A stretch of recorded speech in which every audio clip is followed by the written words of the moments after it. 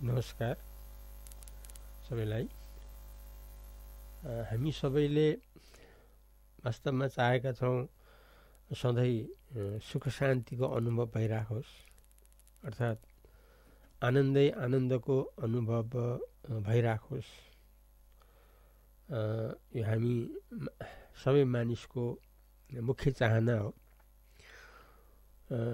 यो हाम्रो असली चाहनालाई पुरा गर्नको लागि हामीले यो पाएको मनुष्य जीवनबाट हामी आत्मामा अर्थात् आत्मदेवमा आत्मदेव भने आत्म भगवान्मा हामी परिवर्तन भएर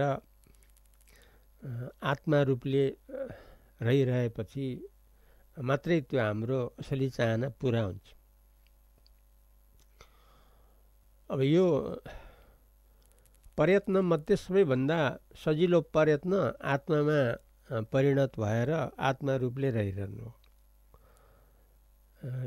सबभन्दा सजिलो किनभने आत्मा भन्ने वस्तु सधैँ रहिराखेको।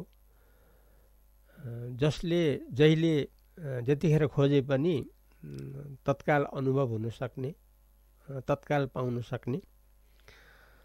र एकचोटि यसलाई राम्रोसँग जानेपछि सधैँको लागि रहिराख्ने। त्यसैले आत्मज्ञान गरेर आत्म भगवान्मा परिणत गर्नु यो हाम्रो मनुष्य जीवनको सबैभन्दा ठुलो उपलब्धि हुन जान्छ। यसको लागि हामीले यो अजातवाद भन्ने सिद्धान्तलाई अप्नाउनु पर्ने हुन्छ। अजातवाद सिद्धान्त कस्तो भने त्यहाँ अर्को दोस्रो वस्तु छैन है भन्ने जस्तो दृष्टान्तमा बरफलाई हामीले ल्याउँ त्यो जमेको चिसो बरफलाई त्यो बरफ वास्तवमा त्यहाँ पानीदेखि अलग केही छैन है अर्थात् बरफ भनेको त्यो पानीको त्यो ढिक्काको आकार हो। पानीबाट जमेको ज्यादा चिसोले गर्दा ढिक्काको आकार हो। तर त्यहाँ पानी मात्रै छ। बरफ भने पनि पानी भने पनि त्यहाँ एउटै वस्तु छ। त्यहाँ अर्को वस्तु छैन। त्यस्तै गरी यहाँ जो हामीले संसार रूपमा जो हामी छौँ यहाँ पनि वास्तवमा एक आत्मा मात्रै छ। नित्य सत्य रूपमा। सधैँ सत्य रूपमा यहाँ केवल आत्मा मात्रै छ। आत्मादेखि अर्को वस्तु वास्तवमा छैन। त्यो नजान्नुको कारणले यहाँ अनेक थरी देखिएको हो तर जान्नुबाट त्यहाँ एउटै आत्माको अनुभव हुन्छ। बरफलाई पनि नजान्नुबाट त्यहाँ कसैले बरफको दृष्टिकोणले हेरिया हुन्छ कसैले अब अघि पछिको दृष्टिकोणले पानीको दृष्टिकोणले हेरिएको हुन्छ। भने अब उपयोगको अनुसार कसैले कुनै दृष्टिकोणबाट बरफलाई प्रयोग गरिया हुन्छ कुनैले अर्कै किसिमबाट प्रयोग गरिया हुन्छ तापनि वास्तवमा त्यो एक पानी मात्रै हो। ठिक त्यस्तै यहाँ जो छ संसारमा जो हामी छौँ शरीरधारी रूपले यहाँ वास्तवमा आत्मा मात्रै छ एक आत्मा मात्रै छ। सधैँको। कसरी स आत्मा मात्रै छ भने अब संसार त हामीले सपनाको उदाहरणबाट देखिसकेका छौँ। सपनाको उदाहरण भन्नाले अब यो संसारको श्रेष्ठ ज्ञानशास्त्रले संसारलाई सपनासँग दजाएर हामीलाई देखाएको छ। अर्थात् रातिको जो सपना हो त्यो सपना र यो दिउँसोको जो जाग्रत हो त्यो वास्तवमा एउटै हो भनेर हामीलाई यसरी मुक्तिशास्त्रले देखाएको छ। भनेपछि जसरी सपनाको सारा अनुभव त्यहाँ त वास्तवमा केही पनि असली चिज त भेटाइँदैन किनभने जागेपछि केही पनि रहँदैन। र त्यो सुत्नुभन्दा पहिला पनि वास्तवमा केही थिएन। त्यो निदाउनु निदाउनुको बिचको अनुभव हो त्यो संसारको अनुभव। न त्यो संसार त्यो सपनाको संसारको अगाडि संसार दियो न सपनाको संसारकोबाट जागेपछि न त्यो संसार रहन्छ। भनेपछि त्यो त बिचको देखुन्जेल मात्रैको अनुभव भयो। सपनाको संसार ठिक त्यस्तै। यो जागृतको यो जो विश्व छ यो पनि जागृतको विश्वको अगाडि त यो सृष्टि हुनुको पहिला त यो विश्व त थिएन। फेरि यो विश्वबाट जब हामी जाग्छौँ अर्थात् यो त विश्व त सपना जस्तै रहेछ है भनेर जब हामी जाग्छौँ त्यसपछि पनि हामीले विश्वलाई पाउँदैनौँ। त्यो केवल आत्मालाई पाउँछौँ। यसरी पहिला पनि आत्मालाई पाउँछौँ पछि पनि आत्मालाई पाउँछौँ अघि पछि आत्मालाई पाएको हुनाले बिचको पनि वास्तवमा आत्मै नै हो भनेर हामीले जान्नुबाट हामीले आत्मज्ञान गर्न सजिलो हुन्छ र सम्भव पनि हुन्छ। किनभने मानिसको प्रवृत्ति के हुन्छ भने सत्यको पक्षधर हो। जब यो जाग्रत विश्व स्वप्नलाई दाँजेर ज्ञानशास्त्रले देखाइदिएपछि त हामी त सत्यलाई नै रोज्छौँ नि। अब सत्य त ज्ञानशास्त्रले त आत्मालाई बतायो संसारलाई त बताएन। संसारलाई त सपनासँग दजाएर देखाइदियो। भनेपछि त्यो वास्तवमा सत्य त देखिएन। हामी सत्यवादीहरूले त सत्य आत्मालाई नै लिने भयौँ। सपना रूपी जाग्रतलाई त हामी त लिने भएनौँ। र अर्को कुरा यो संसारलाई भ्रमले देखिएको भनेर ज्ञानशास्त्रले बताएको छ। वास्तवमा भएको आत्मा मात्रै हो तर यहाँ भ्रमले गर्दा यो शरीर संसार देखिएको यसलाई साँचो माने तापनि न त शरीर रहिरहन्छ न त संसारै रहिरहन्छ। भनिकन यसलाई भ्रम रूपमा देखाइएको छ। र हाम्रो अनुभवमा पनि त्यही जज छ। किनभने यदि भ्रम शरीर हुँदैन थियो भने त सधैँ रहनु पर्ने थियो नि सधैँ त रहँदैन। अब जो शरीर सधैँ रहिरहँदैन भने शरीर रहने जो संसार छ त्यो पनि रहिराख्दैन। शनि संसार वास्तवमा साँचो होइन है भने त हामी सबैको एउटै आवाज हो। हुनाले यसरी व्यवहारमा पनि हामीले शरीर संसारलाई भ्रम रूपमा अर्थात् अध्यास रूपमा सपना रूपमा हामीले पाइरहेका छौँ भने। अब अघि र पछि र त्यो संसार भएको बेलामा पनि संसारलाई देखाउने संसारको सत्ता अनि संसारको जो आधार हो त्यो आत्मा नै देखिन्छ। जस्तो बरफको आधार पानी नै देखिन्छ। बरफको आधार पानीदेखि अर्को त छैन। त्यस्तै यो विश्व हामीले जो देखेका छौँ शरीर संसार देख्दाको बेलामा पनि यसको आधार त आत्मा नै हो। किनकि यो आत्मामा नै खडा भएको आत्मामै रहेको आत्मामै हराउने हो। तर आत्मा चाहिँ हराउँदैन।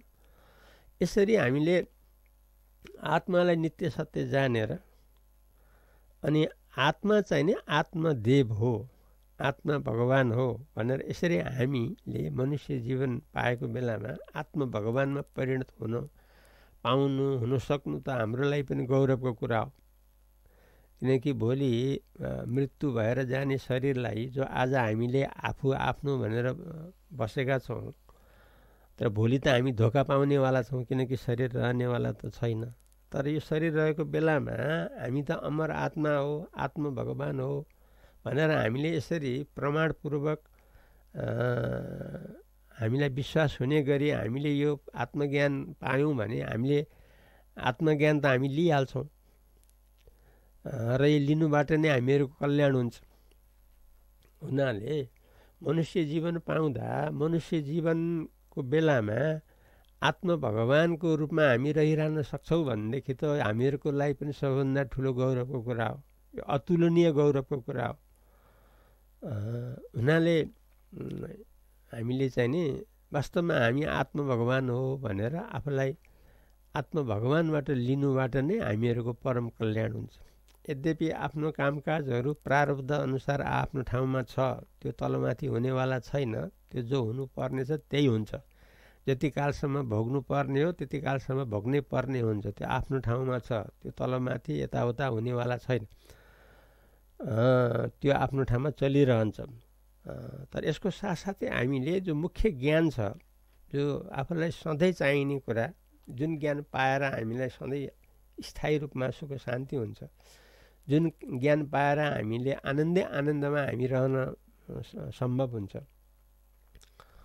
जुन ज्ञान पाएर हामीले साँच्चै खोजेको जो असली सुख हो त्यो असली सुख पाउन सक्छौँ भने यो हामीहरूको लागि राम्रो अवसर हो। त्यसैले हामीले यो मनुष्य चोला पाएको बेलामा हामीले आत्मज्ञान गरेर आत्म भगवान्मा परिणत भएर आत्मा रूपले रहिरहनु नै हामीहरूको सफल जीवन हो। र आत्मा फेरि कस्तो छ भन्दाखेरि यसको स्वभाव आत्मा त अब आत्मालाई अर्को शब्दमा त परमात्मा भनिन्छ। आत्मालाई नै भगवान् भनिन्छ आत्मालाई नै ईश्वर भनिन्छ आत्मालाई नै अमर भनिन्छ आत्मालाई नै सधैँ रहिरहने भनिन्छ भनिन्छ। भने यस्तो स्वभाव भएको यति राम्रा राम्रा स्वभाव भएको यति ठुलो कुराहरू हामीले जब पाउँछौँ भने यो ठुला ठुलो कुरालाई हामीले किन नलिने? अवश्य हामीले लिने। यसरी हामीले आत्मालाई चाहिने अनुभव गरिरहेपछि सबभन्दा ठुलो उपलब्धि के हुन्छ भने सर्वत्र हामीले आत्मा रूपमा अनुभव गर्न सक्छौँ। सबैलाई हामीले एक आत्मा रूपले देख्न सक्छौँ। सबैलाई अभेद रूपले भेद रूपले होइन भिन्न रूपले होइन सबैलाई अभेद एक रूपले एक नासले हामीले लिन सक्छौँ आत्माको भावले हामीले रहेपछि। यो त सबैभन्दा ठुलो उपलब्धि हो। यसो भयो भने के हुन्छ भने कुनै चिज पनि हामीले चाहिने अब कुनै चिज पनि त्याग्नु परेन किनकि सबै आत्मा रूप रहेछ। र कुनै चिज पनि ग्रहण गर्नु परेन किनकि सबै आत्मा नै रहेछ। अब सर्वत्र एक आत्माको अनुभव हामीले चाहिँ गरिरहन पाएपछि र कुनै चिज ग्रहण पनि गर्नु परेन कुनै चिज त्याग गर्नु पनि परेन हामीहरूको जो ठुलो जिम्मेदारी थियो त्यो पनि यसबाट पुरा पुरा हुन्छ। किनकि हामी त ग्रहण गर्ने त्याग गर्नेमै व्यस्त छौँ। केवल आत्मामा लागिरहेपछि त हामीले न कुनै त्याग गर्नु पऱ्यो न कुनै ग्रहण गर्नु पऱ्यो र सर्वत्र हामीले एक आत्मा रूपले अनुभव गर्न सक्ने भयौँ। यसले गर्दा के भयो भने हाम्रो भेदभाव मेटियो। भेदभाव भने त सबैभन्दा ठुलो शत्रु हो। त्यो भेदभाव त हट्यो नि आत्मज्ञानले। किनकि सबैलाई हामीले एक आत्मा रूपले देख्यौँ आफूलाई आत्मा रूपले अनुभव गर्न सक्यौँ। यसरी भेदभाव हटेर रहनु जहाँ सक्छौँ हामी त्यति बेला हामीलाई कुनै दुःखले छुँदैन। किनभने पराया भन्ने कुरा अरू भन्ने कुरा त यहाँ केही पनि आउँदैन। जब एक आत्मा रूपले हामी सबैलाई देख्छौँ भने अब दुःखको कारणले सुख भन्नुपर्ने हुन्छ। जब हामीलाई दुःख नै पर् आउन आइपर्दैन भने अब दुःखको क्रमले हुने जो यो सुख दुःख भन्ने छ यो दुइटै क्रमबाट पनि हामी छुटकारा पायौँ र यो परम आनन्द हो त्यो परम आनन्दमा आत्मानन्दमा हामी रहिरहन सक्ने भयौँ। सबैभन्दा ठुलो आनन्द हामीले पाउन सक्यौँ। यसरी हाम्रो स्थिति चाहिँ नि केवल आत्मा रूपले रहँदाखेरि यो शरीर रहँदासम्म पनि हामीले सबैलाई आत्मा रूपले देख्न सक्ने भयौँ। जसले गर्दाखेरि सबैभन्दा सुख शान्तिको वातावरण सधैँ जहाँ पनि जहिले पनि हुन सम्भव भयो भने अर्कोतर्फ हामीले अमरता पायौँ। किनकि आत्मा त मर्दैन आत्मा त सधैँ सधैँ रहिरहने वस्तु हो। फेरि स्वभावैले यो आफ्नै प्रकाशले प्रकाशित हो। र स्वभावले यो आनन्दै आनन्द हो। यसरी स्वत हामीले आनन्द सधैँ पाइरहने हुन्छौँ यो आत्माको ज्ञानबाट अर्थात् आत्म भगवान्को परिणतिबाट।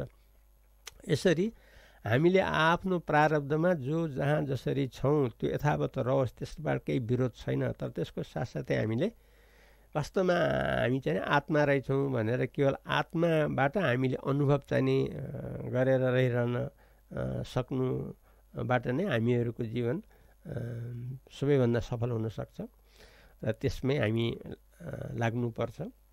हामी सबैलाई यसैबाट फाइदा हुन्छ। आजको प्रसङ्ग यति नै राखौँ। भोलि फेरि अर्को नयाँ प्रसङ्ग लिएर आउनेछु। तबसम्मलाई अद्वैत प्रदीप बलरामजी सरस्वतीलाई प्रेमले बिदा दिनुहोस्। नमस्कार।